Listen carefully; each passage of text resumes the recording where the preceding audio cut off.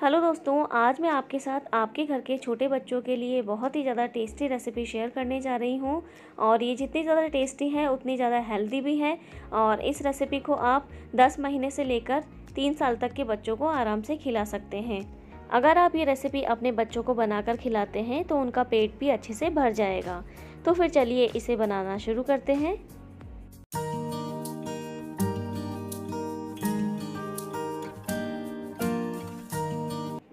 इस हेल्दी और tasty recipe को बनाने के लिए मैंने यहाँ पर एक पका हुआ आम लिया है, ये देखें और मैंने इसे पानी से अच्छे से वॉश कर लिया है। तो सबसे पहले हम इसका छिलका उतार देंगे। और बेबी फ़ूड रेसिपी बनाने के लिए हमें यहाँ पर पूरे आम की ज़रूरत नहीं है। बस हम थोड़ा सा ही पल्प इसका इस्तेमाल करेंगे। तो इसका छिलका हटा लेते हैं ऊपर ऊपर से। तो ये देखिए दोस्तों, आम का छिलका मैंने हटा लिया है और हमें केवल इतने ही टुकड़े की ज़रूरत है। और अब इसे हम काट लेंगे छोटे छोटे पीसेस में। दोस्तों, वीडियो के बीच में आपसे एक छोटी सी रिक्वेस्ट है कि अगर आपको मेरी रेसिपीज़ अच्छी लगती हों तो आप इसे लाइक शेयर और मेरे चैनल को सब्सक्राइब ज़रूर कीजिएगा। तो ये देखिए, आम को मैंने छोटे छोटे पीसेस में काट लिया है और अब इसकी हम प्यूरी बना लेंगे। तो आम की प्यूरी बनाने के लिए मैंने ये ग्राइंडिंग जार ले लिया है। इसमें हम आम के पीसेस को डाल देंगे। और अब इसमें हम डाल देंगे दो से तीन छोटे चम्मच पानी, जिससे ये आसानी से ग्राइंड हो जाएगा। और अब हम जार का ढक्कन लगा देंगे और इसे बारीक ग्राइंड कर लेंगे। तो आम की प्यूरी बनकर तैयार हो चुकी है। ये देखिए, एकदम स्मूथ प्यूरी बनकर तैयार हुई है। और अब इसे हम अलग बाउल में निकाल लेंगे।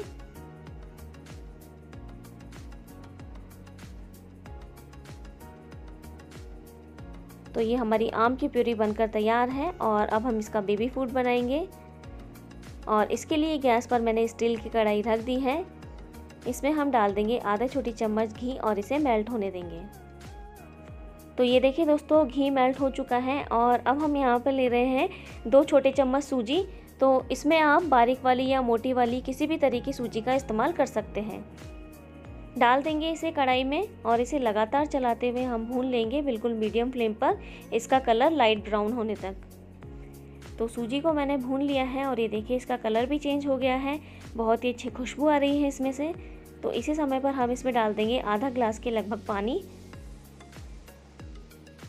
और इसे अच्छे से मिक्स कर लेंगे, बिल्कुल लम्ब्स फ्री होने तक। और इसे एक से दो मिनट के लिए पकने देंगे।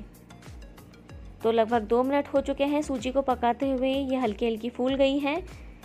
इसी समय पर हम इसमें ऐड कर देंगे आधा छोटी चम्मच मिश्री का पाउडर। आप चाहें तो इसे बिना मिश्री के पाउडर के भी बना सकते हैं, क्योंकि आम में नेचुरल मिठास होती है। और अब इसमें हम मिला देते हैं आधा छोटी चम्मच ड्राई फ्रूट पाउडर तो इसे बनाने का तरीका आप मेरे पिछले वीडियोज़ में जाकर देख सकते हैं। मिला लेंगे सभी चीज़ों को अच्छे से और इसे 30 सेकंड के लिए और पकने देंगे। तो सूजी को मैंने यहाँ पर हल्का सा और पका लिया है और इसी समय पर हम इसमें मिला देंगे आम की प्यूरी। तो आम की प्यूरी मिलाते समय हम गैस की फ्लेम को बिल्कुल धीमा कर देंगे और इसे कढ़ाई में डाल देंगे। तो ये देखिए दोस्तों, प्यूरी मैंने कढ़ाई में डाल दी है, मिक्स कर लेंगे इसे सूजी के साथ में। तो ये देखिए दोस्तों, आम की प्यूरी अच्छे से मिक्स हो चुकी है सूजी के साथ में। और ये हमारा हेल्दी और टेस्टी बेबी फ़ूड बनकर तैयार हो चुका है। और यकीन मानिए दोस्तों, ये फ़ूड आपके बच्चों को बहुत ही ज़्यादा पसंद आने वाला है। तो बस अब हम गैस बंद कर देंगे और इसे हल्का ठंडा होने के बाद आप इसे अपने बच्चों को खिला सकते हैं। और ये लीजिए, बनकर तैयार है हमारा super healthy and tasty baby food और इसे हमने आम के साथ में बनाया है तो ये बहुत ही ज़्यादा टेस्टी बना है। और इस रेसिपी को आप सप्ताह में तीन दिन बनाकर अपने बच्चों को खिला सकते हैं। तो कैसी लगी आपको आज की ये रेसिपी कमेंट करके ज़रूर बताइएगा। रेसिपी पसंद आई हो तो आप इसे लाइक कीजिए शेयर कीजिए। इसी के साथ मेरे चैनल को सब्सक्राइब करना बिल्कुल मत भूलिए और साथ ही बेलाइकन को भी ज़रूर प्रेस कर दीजिए, जिससे कि मेरे आने वाले वीडियोज़ की लेटेस्ट अपडेट सबसे पहले आप तक पहुँच सके।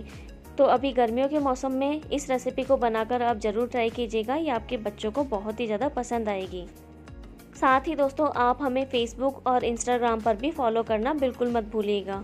तो फिर मिलती हूँ अगले वीडियो में एक और नई healthy tasty baby food recipe के साथ में। तब तक के लिए बाय